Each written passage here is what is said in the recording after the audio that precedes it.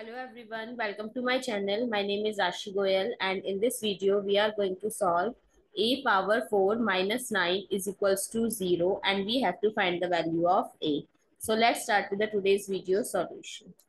So a power 4 we can write it as a square whole square minus 9s 3 square is equals to 0.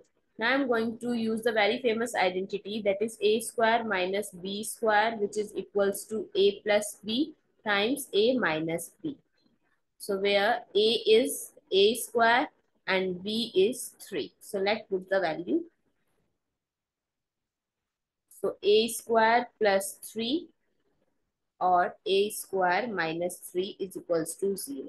Now we have two cases. Case 1 when a square plus 3 is equals to 0 and k second when a square minus 3 is equals to 0. So a square is equals to negative 3, a is equals to square root plus minus negative 3. So a is equals to plus minus root 3 iota because under root negative 1 is equals to iota. Similarly, a square is equals to 3. a is equals to plus minus square root 3. So we have four values of a. So from case 1, the value of a is positive 3 iota. And second value of a is from case 1, negative root 3 iota.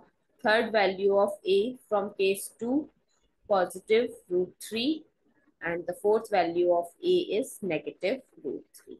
So these are the four values of a for this equation. I hope it's clear and you find it useful. So please give us a thumbs up and do subscribe to my channel. Stay tuned.